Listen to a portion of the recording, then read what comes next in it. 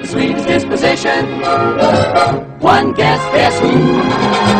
Who never, never starts an argument. Who never shows a bit of temperament. Who's never wrong but always right. Who never dreams of starting a fight. Who gets stuck with all the bad, bad luck. No one but Donald Duck.